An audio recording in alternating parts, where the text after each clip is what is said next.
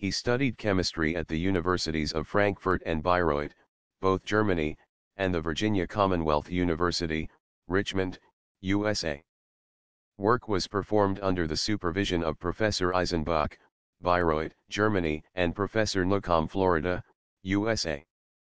He became a full professor in summer 2000 at the Eindhoven University of Technology.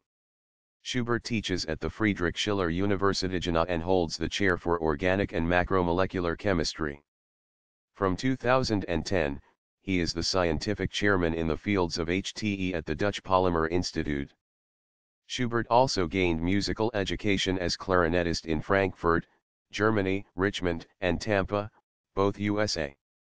Chamber orchestra courses led him to the Abegg Trio, Hagen Quartet, Amadeus Quartet, Prof.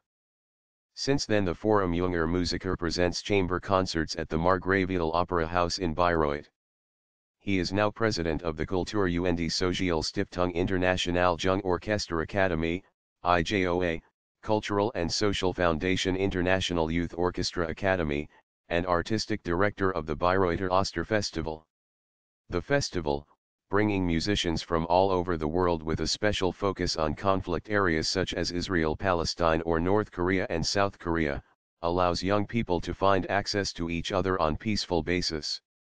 The gains of the concerts will be donated to the children with cancer, which is the original asset of the foundation.